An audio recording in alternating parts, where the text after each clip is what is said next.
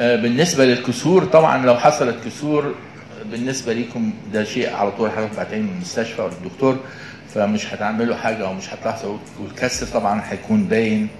بسبب الألام. بس أنا كنت عايز أقول إن حاجة جديدة هنا في الموضوع ده إحنا بنستعملها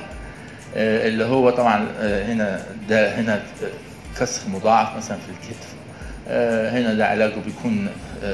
ولا حاجة يخليه لحد لما الكسر يلحم لكن إذا مثلا كسر فيه آه، متحرك من مكانه ففي طريقة جديدة إحنا بنستعملها نخيط ال- الحتت المكسورة بنرجعها تاني في بعض بواسطة المنظار. دي بتدينا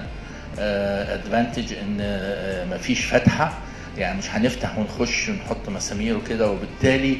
آه، العضلات الكتف بتفضل زي ما هي ما بتتأثرش بفتحة العملية. طبعا آه،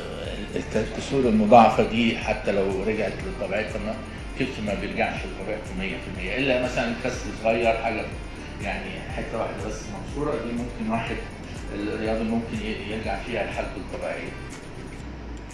طبعا إذا كسر كده مضاعف خالص ده في الغالب بيحتاج مفصل صناعي